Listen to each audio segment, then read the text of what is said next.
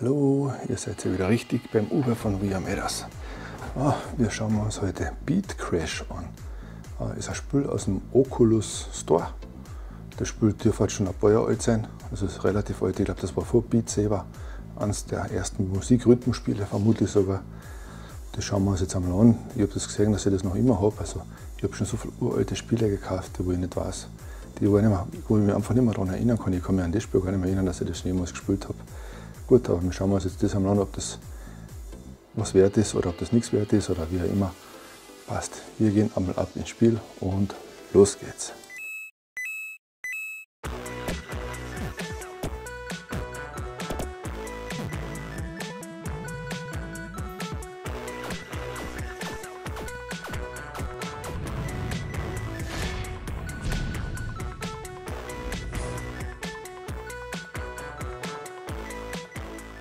So, wir befinden uns hier in Beat Crash.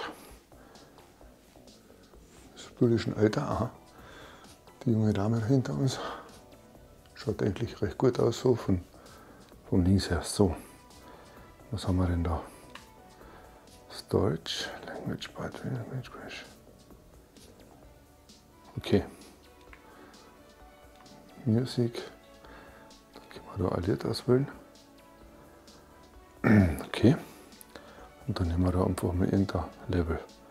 Das Sternwelt schaut recht gut aus. Start. Schauen wir mal, was uns da erwartet. Okay.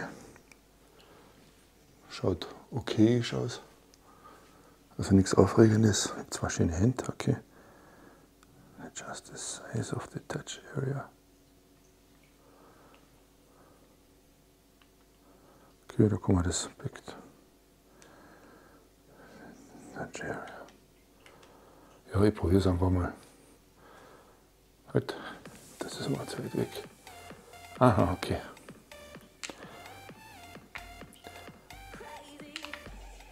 So. Warte, wir fangen jetzt nochmal von vorne an.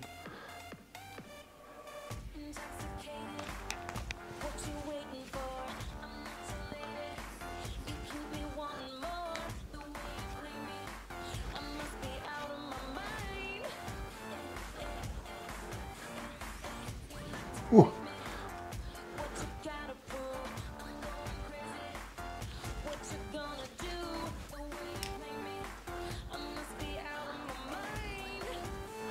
Also die Idee ist ja schon mal nicht so schlecht.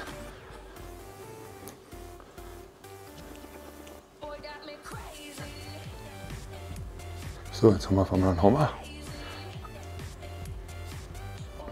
Die Bomben dürfen wir nicht erwischen.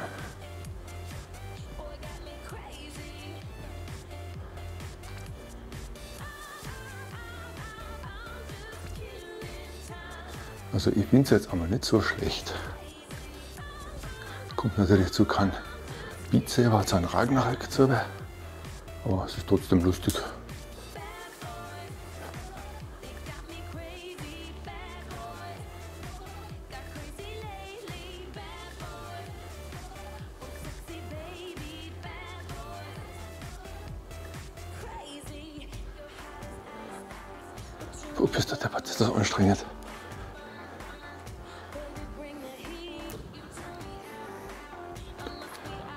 Die Bomben ist ein bisschen schwierig.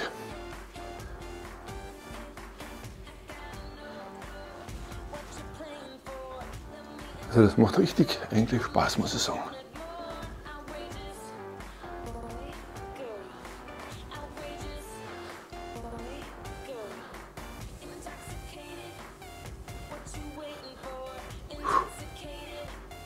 Aber das geht in die Hände, das kann ich sagen.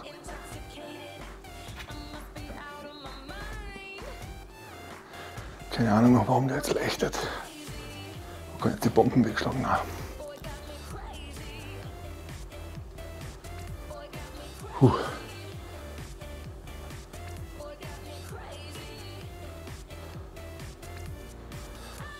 Also am Anfang haben wir gesehen, da muss man das, das Feld richtig einstellen, in, wo, in was für einem Bereich die Bomben kommen dürfen. Boah, jetzt wird es aber anstrengend.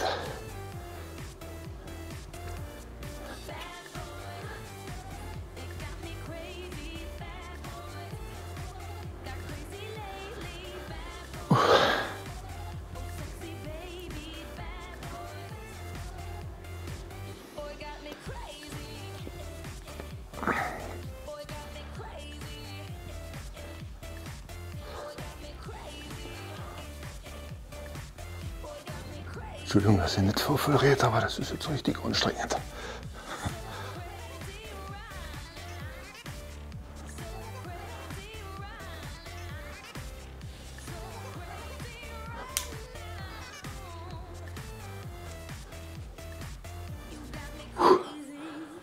Jetzt bin ich beteiligt, dass das fertig ist. Also es war nicht so schlecht, muss ich sagen. Es war richtig gut. Es war richtig gut. Anstrengend, wirklich anstrengend in die Finger. Puh. Ja, schauen wir weiter. So. Nehmen wir mal was anderes, unter anderes Lied hätte ich gesagt. Und schauen wir mal. Aha. Huh, jetzt ist das Feld da vor mir.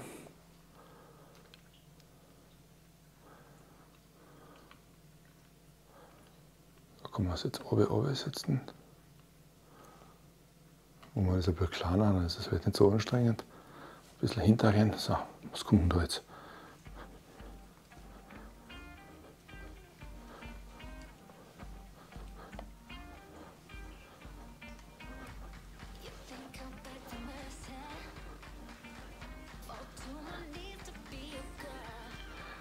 So übrigens ein bisschen höher, das ist besser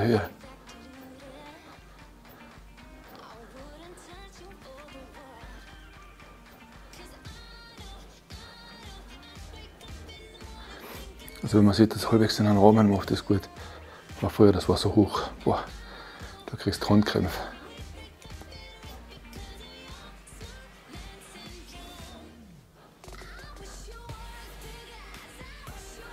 Das sind zwar die Farben auch noch, ich schaue gerade, ob da irgendwo, aber ich habe keine andere Farbe. Und das ist auch immer gut, also kann ich da alles treffen, das passt schon. Außer die Bomben.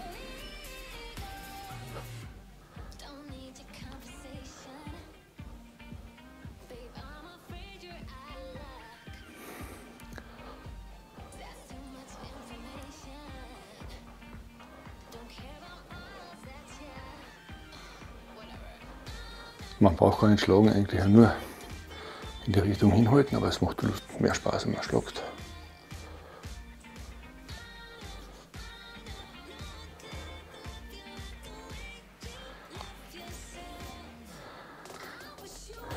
Was mir aber vorkommt, ist, wenn ich da irgendwas wie früher den Hammer kriege oder so, da tue ich mir eigentlich schwerer. Also da haue ich lieber mit der Faust direkt, als wie mit dem Hammer. Und da das Schwert ist irgendwie viel schwieriger, als wenn ich da mit der Hand direkt habe.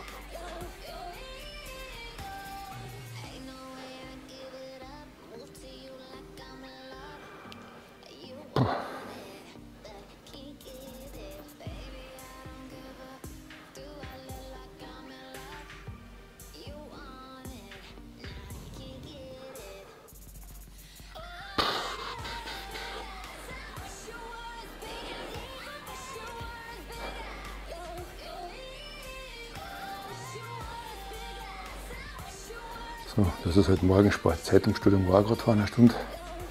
Dann wisst ihr eh, wie spät es ist.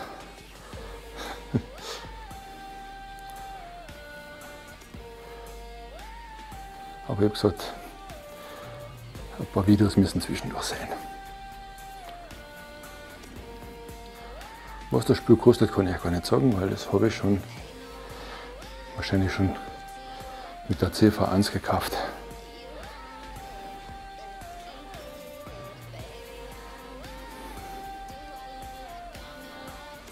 Also wenn einer Krämpfe haben will in der Hand, dann hat er mit dem Spiel absolutes Top-Klick. Dock, Dock. Was kommst du jetzt zu mir? Also. So, dann probieren wir noch was aus. Gut, wird es weiter. Anstrengend. Was haben wir denn da? Strand.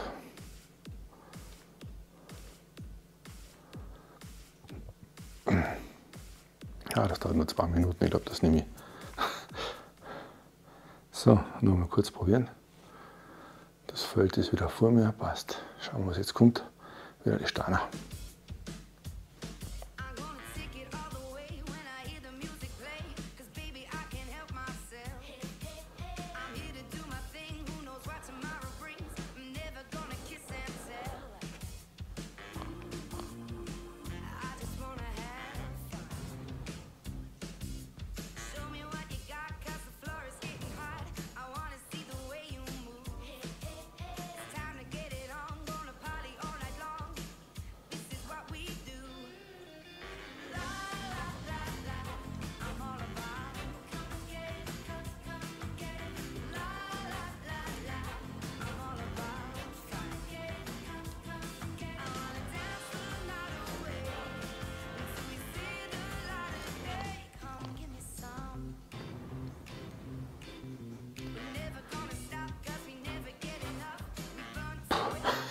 So, ich möchte noch was ausprobieren. Zurück in den Waiting Room. Was haben wir denn noch? Das Dunkle. Das probieren wir jetzt auch noch für ein paar Sekunden.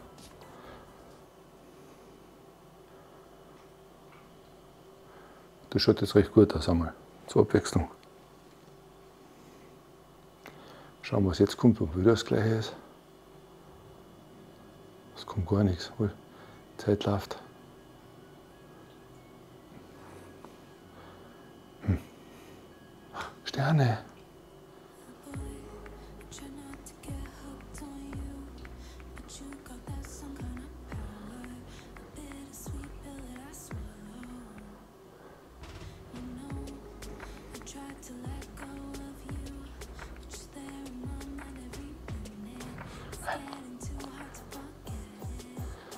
Also mit den Schwertern hat man eigentlich nur den Vorteil, dass man eine größere Angriffsfläche hat.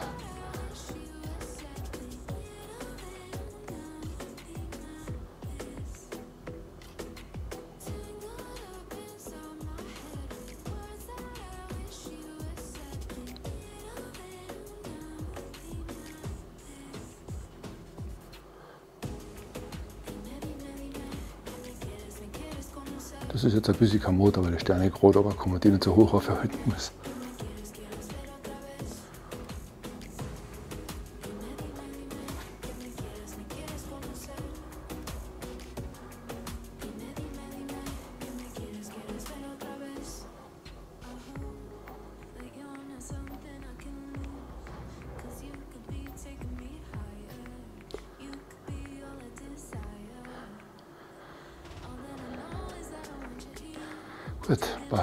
Das nächste noch aus.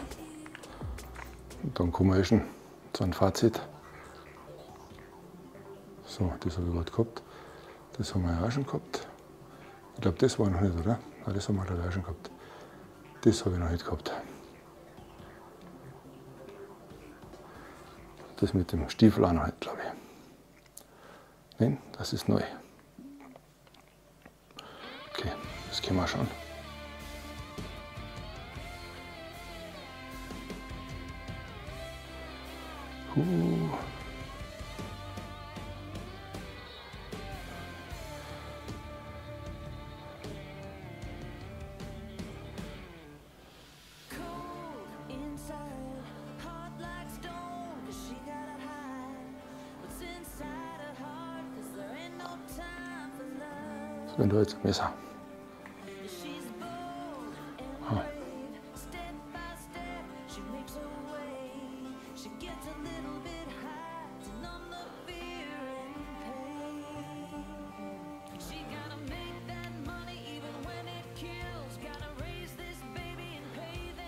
Takt und das zu den Würfeln, das passt gut.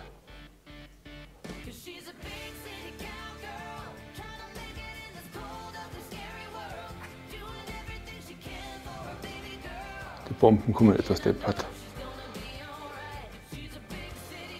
Das Level gefällt mir, die Musik gefällt mir auch gut.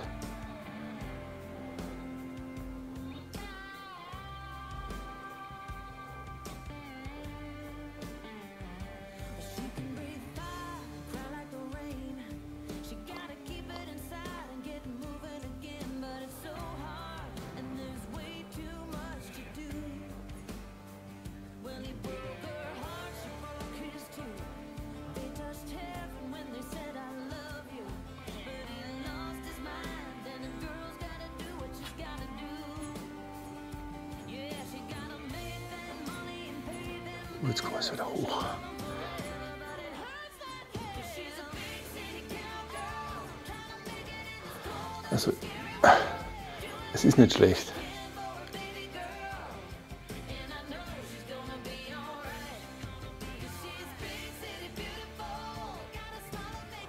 Ich weiß jetzt aber gar nicht, seit wann es schon Saber gibt. Ich vermute, dass das Spiel vor der Saber Zeit war.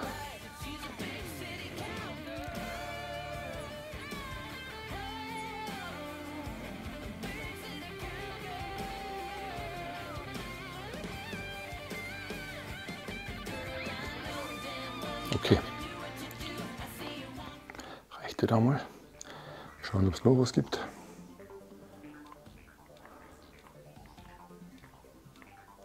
Ich glaube, das haben wir noch nicht. Das haben wir noch nicht gehabt, oder?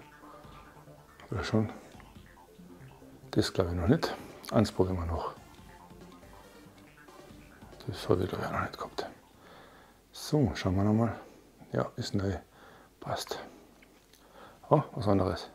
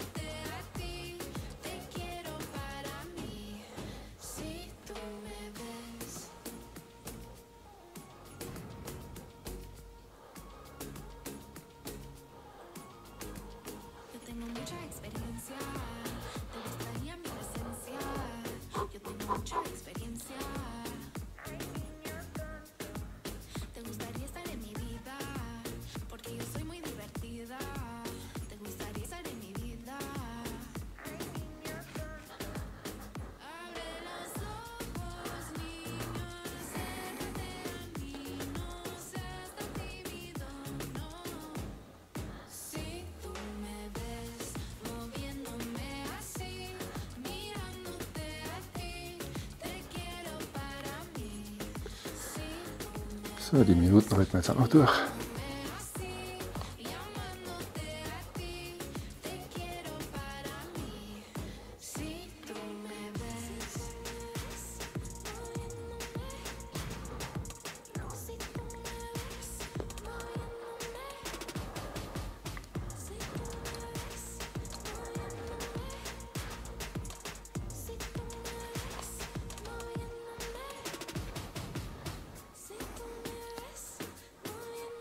So, ich glaube, jetzt kann ich noch heute gut schlafen, weil meine Hände spielen schon bald nicht mehr.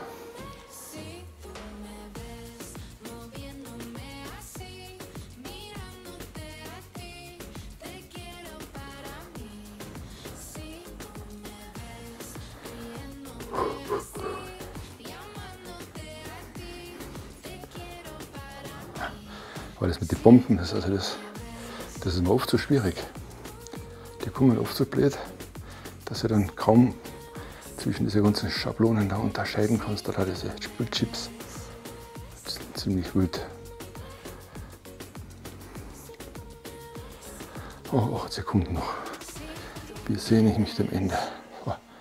Oh, also jetzt tun mir die Hände weh. Gut, ich hätte gesagt, das war's. Jetzt muss mal irgendwo wieder tanzen kommen, dann möchte ich hoffen. So. Er schaut ja so nicht so schlecht aus. Perfekt, gell? Gut, das war's für mich. Für heute. Ich glaube, wir haben alle Sachen durch, die es da gibt. Was ist da noch? Musik. Da ist nichts. Mir kommt auch vor, dass das Spül nicht fertig ist.